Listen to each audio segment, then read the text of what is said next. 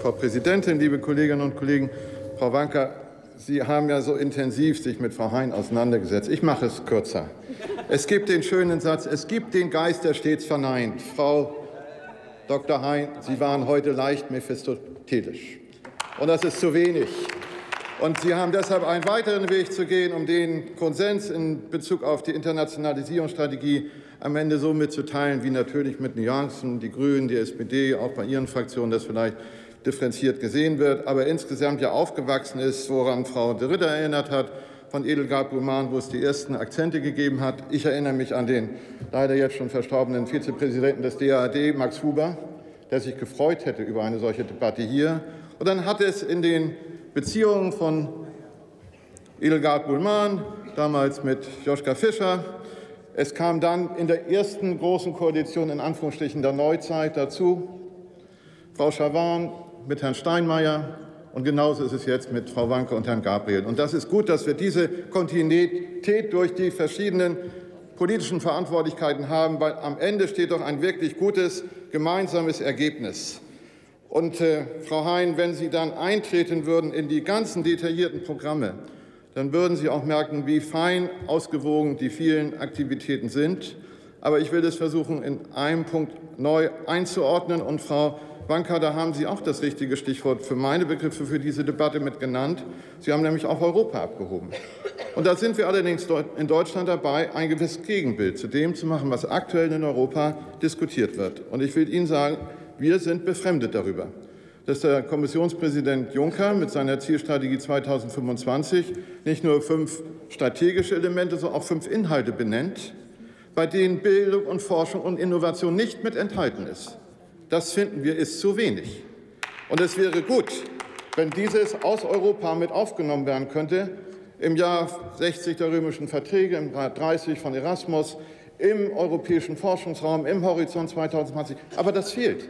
Es fehlt vollkommen in der Junckerschen Europastrategie, und das ist unterkomplex, das ist auch unter Perspektive. Die Bitte an die Bundesregierung ist, bringen Sie sich so, wie Sie sich jetzt schon eingebracht haben, noch viel energischer ein, dass diese sechste Dimension von den Inhalten hier in der Internationalisierung, in der Verantwortung Europas für Entwicklung in der Welt, Wissenschaft, Forschung, Bildung mit aufgenommen wird.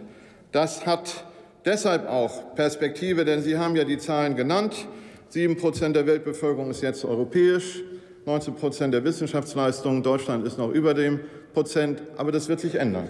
Und wenn wir das nicht bündeln, wenn wir dort nicht hineingehen mit Exzellenz in solche Kooperationen und äh, äh, Netzwerke, dann wird dieser positive Beitrag, den wir aus Europa, aus Deutschland hin leisten könnten, zu schwach werden. Eine kritische Bemerkung. Ich glaube, dass wir auch daran denken müssen, und Sie haben es angesprochen, andere auch, dass dazu natürlich auch Substanz gehört. Substanz an Ressource, Substanz an Regierungsaufmerksamkeit, Substanz auch an Geld. Und äh, Kai wenn eben der kleine Zwischenruf kam, ja, wir glauben tatsächlich auch, dass die Fixierung auf ein 2-Prozent-Ziel in Bezug auf Rüstungsgüter in der NATO nicht das ist, was tatsächlich internationalen Frieden, internationale Nachhaltigkeit so mit befördern könnte, wie es notwendig ist. Denn Militär macht kein Wasser sauber, Militär verändert nicht den Klimawandel, Militär sorgt nicht für berufliche Bildung. Wir dürfen diese Dimension überhaupt nicht vergessen und brauchen dafür zusätzliche Mittel. Wir brauchen sie in Deutschland und wir brauchen sie auch in Europa. Und das muss eine Perspektive sein, die wir zusammen aufmachen.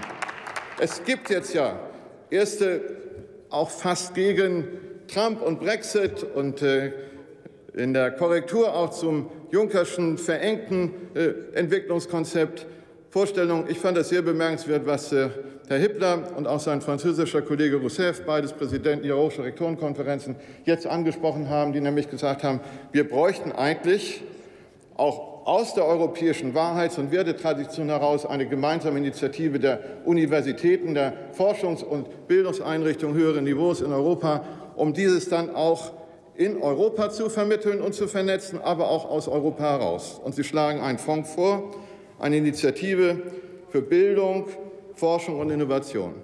Und wenn unser Außenminister Sigmar Gabriel jetzt anspricht, mehr Geld für Europa zu mobilisieren, dann hat er auch dieses mit im Hinterkopf.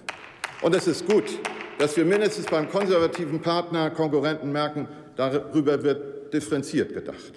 Von Ihrem Europapolitiker anders als von anderen. Aber lassen wir uns gemeinsam, wenn wir diese gute Bildungs- und Forschungsagenda haben, doch mit dafür werben, dass die Gewichte in Europa stärker werden für Bildung und Forschung und Innovation, weil das trägt positiv etwas in die Welt hinein.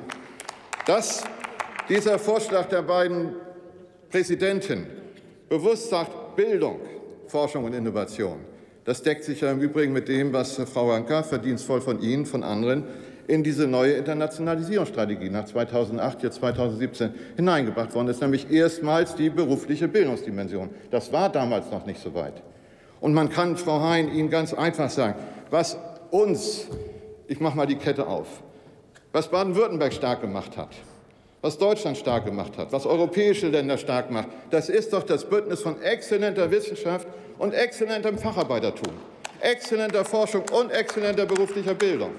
Dieses in der Exzellenz, in der Qualifizierung mit nach vorne zu tragen, das ist eine starke Botschaft, die wir noch ausbauen müssten. Aber nicht im Sinne von, wir transportieren unsere Systeme in andere Länder. Nein, wir nehmen dieses als Botschaft mit auf, dass wir an der Stelle etwas entwickeln wollen.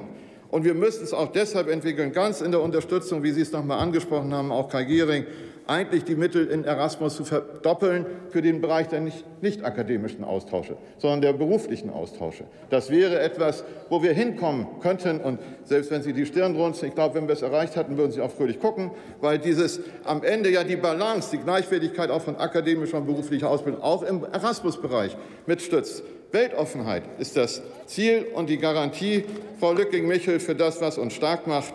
Und deshalb schlage ich versöhnlich den Schlussbogen mit einem Zitat von Alexander von Humboldt so. Der hat gesagt, die gefährlichste aller Weltanschauungen ist die der Leute, welche die Welt nie angeschaut haben. Ja, die Welt anschauen. Das ist Internationalisierungsstrategie. Vielen Dank. Vielen Dank, Herr Kollege. Als nächster hat das Wort Dr. Thomas Feist von der CDU-CSU-Fraktion.